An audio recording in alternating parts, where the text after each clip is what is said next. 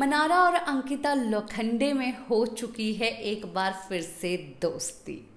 क्या आप लोग इनके बीच की दोस्ती देखना चाहते हैं? क्या आप लोगों को लगता है कि ये बस अभी चांदनी रात है, फिर अंधेरी रात अभी चांदनी रात है, फिर उसके बाद अंधेरी रात ज़रूर होगी, क्योंकि अब ये दोनों एक दूसरे के लिए अच्छी बन रही हैं और फिर उसके बाद जो है मनारा पीठ पीछे जाके जो है अंकिता के बारे में बुराइयाँ करेगी, उसका वो नेचर है। क्या आप लोगों को ऐसा लगता है? कमेंट बॉक्स में मुझे ज़रूर बताइए, क्योंकि अब जो है एक दूसरे के कंधे पे कंधा डाले हुए, एक दूसरे के साथ मज़ाक मस्ती करते हुए इवन मनारा जो है खानजादी के साथ भी मज़ाक मस्ती कर रही थी और अंकिता के साथ भी मज़ाक मस्ती कर रही थी।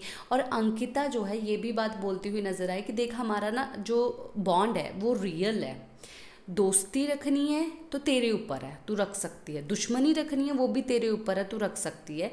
दोनों ही रियल है। जो भी तू करना चाहे, वो चीज़ तू कर सकती है। ये चीज़ मनारा को अंकिता ने बोली है। अंकिता, दोनों चीज़ों में अब कंफर्ट है।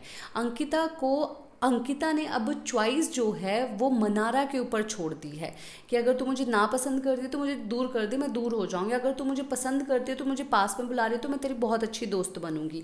तो क्या आप लोगों को लगता है कि मनारा यहाँ पर सही डिसीज़न ले पाएगी? मुझे ऐसा लगता है कि मनारा ने सिर्फ़ और यही बात बोल दी है कि, अंकिता जी, मैं आपकी दोस्त हूँ। क्योंकि वो काफ़ी हँसी मज़ाक में अब बात कर रही है, दोस्त काफ़ी अच्छी नज़र आ रही है।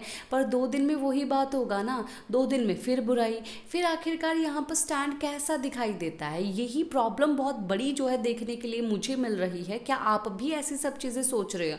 भाई, मेरा दिमाग बहुत ज़्यादा उलझ चुका है इन सब चीज़ों में कि भाई, मनारा आखिरकार ये कर क्या रही है? इसी के साथ मैं लेती हूँ इजाज़त। नमस्कार।